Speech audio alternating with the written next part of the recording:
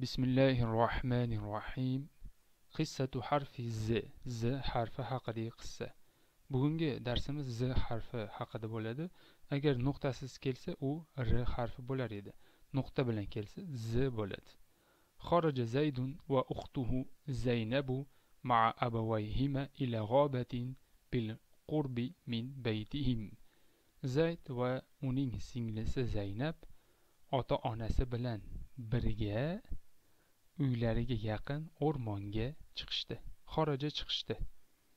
Uxtun bu singil opa degani ma birga abavay bu ota ona ilaga g'obatun o'rmon bil qurbi yaqin min baytihim uylariga baytun uy.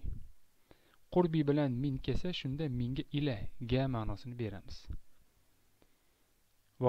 Zaydun fiha g'usna zaytuni. Shunda zayd u yerga zaytun novdasini ekdi. G'orasa ekdi degani. G'usna zaytun zaytun novdas qola zaydun li abihi. Shunda zayd otasiga dedi. Ya abati hal nahsulu ala zaydi min haza zaytuni?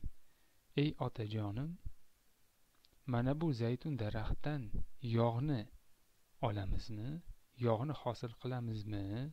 dedi. Ajaba abuhu. Shunda otasi javob berdiki naam ya zaydu. Ha ey zayd dedi.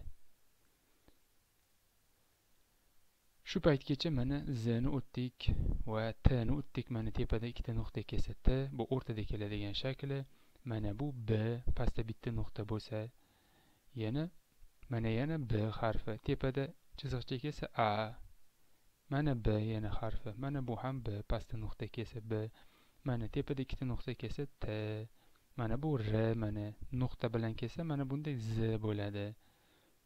Yana z mana.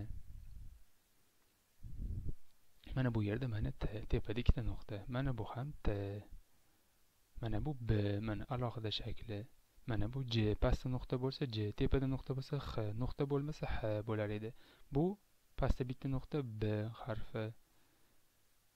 Bu z harfi. Mana bu ikkita nuqta bo'lsa y mana shu ikkita nuqta tepaga chiqib qolsa t bo'ladi. Uni o'tamiz inshaalloh